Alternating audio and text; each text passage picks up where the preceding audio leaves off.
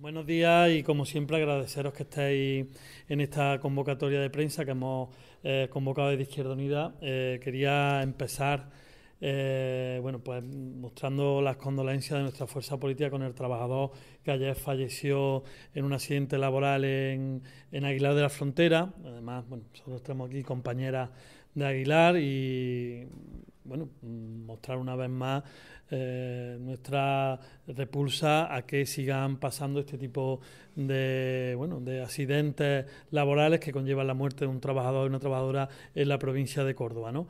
Eh, quería también empezar agradeciendo la presencia de Tony Valero, como sabéis, coordinador general de Izquierda Unida, eh, agradeciéndole que esté aquí en Córdoba en esta reunión de trabajo que hemos mantenido con la parlamentaria o la parlamentaria andaluza de Adelante Andalucía, Ana Naranjo, con las compañeras de la coordinadora local de Córdoba Ciudad, con compañeros y compañeras de la dirección provincial y sobre todo con el equipo de diputados y diputadas que tenemos en Diputación Provincial y que ha tenido que ver con, eh, con dos cuestiones que han pasado esta semana, ¿no? que van a pasar. Una, eh, la pregunta que ha hecho tanto Tony como Alberto Garzón en el Congreso de los Diputados sobre el despoblamiento en las zonas rurales y con una moción que va a presentar el grupo de diputados y diputadas de eh, Izquierda Unida en la Diputación Provincial que va en la misma línea. ¿no? Bueno, mm, hemos estado eh, debatiendo, hemos estado hablando, hemos estado eh, trabajando en torno a esta cuestión. Sabéis que es una cuestión además que históricamente siempre ha preocupado y ha ocupado mucho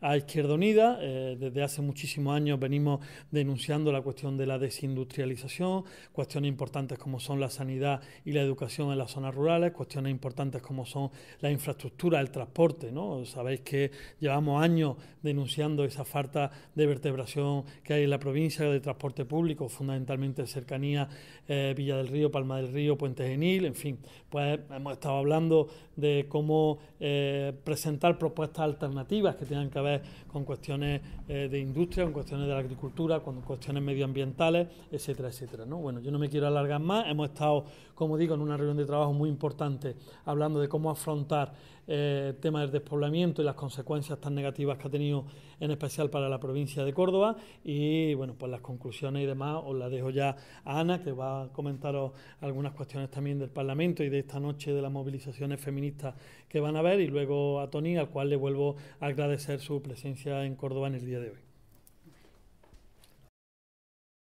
Hay un 24% de, zonas en riesgo en la provincia de Córdoba de perder población, de, despoblamiento, y esa despoblación rural nos afecta fundamentalmente o tener una mayor incidencia sobre las mujeres, sobre la mujer rural. Y esa es la situación que queremos denunciar hoy aquí. Además, sabéis que tenemos hoy una convocatoria de emergencia feminista a nivel nacional y venimos también entonces a incidir en esos factores que nos afectan fundamentalmente a las mujeres que eh, se sitúan en las zonas rurales, mujeres que tienen una mayor dificultad para poder acceder a los estudios o acceder al mundo laboral, laboral en esos espacios rurales por la falta de oportunidad que tienen en esas zonas. Por lo tanto, necesitamos mejorar las infraestructuras, necesitamos también mejorar esos servicios públicos para poder facilitar que esa población, que esas mujeres pues se apeguen al territorio y que podamos mantener esa población viviendo en nuestros pequeños municipios y en ciudades medianas de nuestra provincia. Necesitamos, por lo tanto, residencias, necesitamos una mejora en la ayuda a domicilio, necesitamos centros de día, necesitamos escuelas infantiles, necesitamos comedores, necesitamos residencia para cuidar de nuestros mayores también en esas poblaciones rurales y que nos permitan, por lo tanto, una mayor corresponsabilidad y también una mayor eh, compatibilidad con nuestras tareas luego en la vida cotidiana. Eh, necesitamos, por lo tanto, también esas mujeres un empleo, un empleo en zonas rurales que se garantice con esa futura reforma de la PAC. En la mecanización del campo, sabéis, y lo hemos denunciado con anterioridad, que nos ha afectado también con una mayor incidencia a las mujeres y necesitamos, por lo tanto, también una mayor y una mejor redistribución de esa renta agrícola.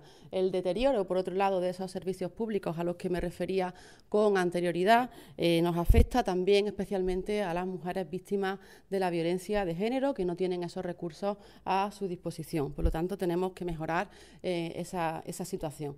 Y por otro lado, ya por último, pues hacer un llamamiento en toda la provincia provincia, a las convocatorias que tenemos para, para esta tarde en Cardeña, en Posada, en Doña Mencía, en Lucena, en Nueva Cartella, en Puente Genil, en Pedro Abad, en La Rambla, en Palma del Río, en Pozo Blanco, en Villafranca y en Córdoba capital, porque tenemos que, que paliar esta situación, porque necesitamos echarnos a la calle, porque mejorar la situación de la mujer rural es una urgencia, mejorar la situación en general de las mujeres pues también es una necesidad.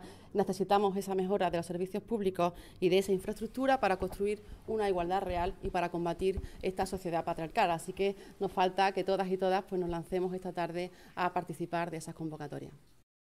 Bueno, yo os agradezco también vuestra presencia aquí en una mañana en la cual hemos tenido una reunión pues, muy fructífera. He podido conocer de primera mano los problemas de la provincia de Córdoba, la implicación de nuestros alcaldes, diputados provinciales, concejales, en uno de los problemas eh, más graves que, que, acosan a nuestra tierra, que se da en nuestro país, que es un problema demográfico de primer orden que no está en las agendas políticas ni en las agendas mediáticas, cuando sin embargo está generando mucho sufrimiento y mucha incertidumbre sobre el futuro para poblaciones andaluzas, especialmente, como bien sabemos, del entorno rural. Siete de cada diez municipios en nuestra tierra están perdiendo población. Un problema demográfico que tenemos que contemplar desde tres dimensiones.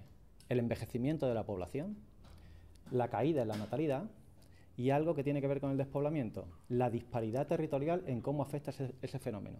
No se están despoblando las grandes urbes de la costa andaluza, no se están despoblando las áreas metropolitanas de Andalucía, se está despoblando el entorno rural y lo está haciendo calladamente. Se está vaciando Andalucía en su interior. Es un problema gravísimo al cual esta fuerza política quiere poner en la prioridad de su agenda, porque estamos hablando de que desaparecen y mueren pueblos, de que envejecen pueblos que se dejan, en este caso, como diríamos, de la mano de Dios. Y ya sabemos lo que ha pasado en otras comunidades autónomas en nuestro país, que una vez que ese proceso ha llegado a su fin, ha sido irreversible la solución.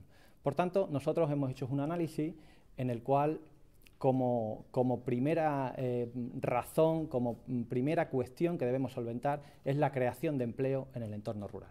Si queremos combatir el despoblamiento, tenemos que hablar de creación de empleo en el entorno rural. Es decir, tenemos que ver qué actividades económicas son factibles, son propicias, que generen desarrollo endógeno en ese entorno rural andaluz. Y hay muchas que se pueden hacer. No es cierto que en el entorno rural no haya actividad económica posible. Podemos hablar de tareas de conservación medioambiental, Podemos hablar de una reindustrialización verde de nuestra tierra, en donde el sector energético, con las energías alternativas, jueguen un papel fundamental para crear empleo, para crear riqueza, para asentar la población al territorio. Tenemos también que hablar, eh, cómo no, eh, de ese pequeño comercio, claro. Mm, se han puesto casos en esta mesa de esta reunión. Tenemos muchos pequeños municipios en donde los, sus habitantes no tienen a dónde ir a comprarse unos zapatos. El pequeño comercio ha sido laminado en el entorno rural. O tenemos políticas que defiendan el pequeño comercio o estamos introduciendo un factor más de despoblación. tenemos también, por supuesto, que hablar del sector agroalimentario. Y hablar del sector agroalimentario implica cuestionar las políticas europeas, la política agraria comunitaria. Tenemos que poner en valor también la ganadería extensiva, especialmente la que se dan de esas, que asienta el territorio, que cuida el medio ambiente y que genera riqueza. Hay muchas actividades económicas posibles para asentar a la población en el mundo rural andaluz.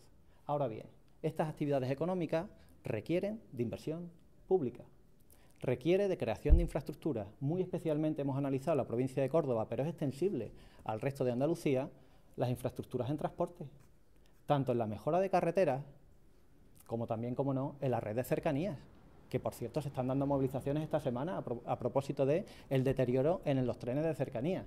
Como no también esa inversión pública tiene que contemplar que los habitantes, que los ciudadanos de ese entorno rural reciban los servicios públicos que le garantizan unos derechos sociales. Se están cerrando líneas públicas en el sistema educativo, en el entorno rural. Bien sabemos que cuando desaparece un colegio en un pueblo, no vuelve a abrirse y que a esos niños les pondrán y a esas niñas un autobús, pero no volverá a abrirse ese colegio en ese pueblo. Por lo tanto, inversión en infraestructuras, inversión en servicios públicos, tanto en servicios educativos, servicios sanitarios, dependencia, que es fundamental para esa población envejecida, van en la línea de la propuesta que tiene que ser integral, holística, un plan para acabar, frenar la despoblación en el interior de Andalucía, que tiene que comprender a la Administración central, al gobierno central fundamental y tiene que verse reflejado en los presupuestos generales del Estado, que tiene que contemplar al gobierno andaluz que no puede mirar para otro lado, que solamente mira el entorno eh, eh, andaluz, rural andaluz para la foto de, folclore.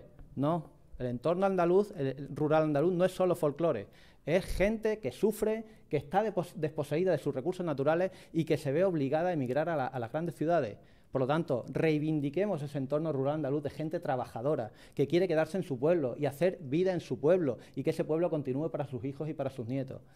Y por último, también los pequeños municipios, los municipios que están privados de financiación para acometer estas tareas. Luego, una de las cosas que también tenemos que resolver son aquellas que tienen que ver con la financiación de los pequeños y medianos municipios, que están siendo asfixiados por el gobierno andaluz y el gobierno central. Y, como no, otra de las cosas que tendremos que contemplar es también una revisión de la estructura eh, político-administrativa de nuestra tierra, tendiendo a una mayor comarcalización en las relaciones entre los municipios, porque bien sabemos que responden mejor a esos entornos económicos y sociales que se dan en nuestras provincias. Y por último, una pequeña perspectiva histórica. Este país tiene una enorme deuda con su mundo rural. Este país salió del subdesarrollo en los años 50 y 60 gracias al esfuerzo de las gentes que salieron del campo, de los pueblos y se fueron a las zonas más industrializadas a levantar este país. Y consiguieron, con su esfuerzo y con el de sus hijos, que tuvieron que, en este caso, nacer en ciudades bien alejadas de sus lugares de origen, a que este país, España, sea una de las principales potencias económicas del mundo. Eso ahora hay que devolver esa deuda.